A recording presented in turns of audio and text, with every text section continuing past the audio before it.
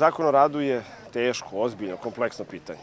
Sa jedne strane, zakon o radu mora da zaštiti radnika, ali sa druge strane on mora da omogući poslodavcu da može da posluje i da može da bude rasterećen i preterane administracije i da bude rasterećen e, i neki stvari koje zaista nemaju veze sa proizvodnjom, koji nemaju veze sa funkcionisanjem kolektiva.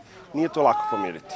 Rad i kapital je jako teško pomiriti, ali evo moram priznati da sam optimista. Bez obzira kako to zvučalo i kako to izgledalo i nakon izjava koje čujete u medijima i od strane sindikata i od strane poslodavaca, ja sam upoznao ozbiljne i socijalno odgovorne ljude. Ja sam upoznao ljude kojima je Srbija ispred interesa i sindikata i ispred interesa poslodavaca. A Srbija će funkcionisati, sindikatu će biti bolje i poslodavcima će biti bolje ako zakon o radu omogući veći broj radnih mesta, ako omogući bolju proizvodnju i ako omogući zaštitu radničkih prava. Nije to lako postići, ali mislim da je moguće. Mi ćemo zakon doneti u predviđenim rokovima.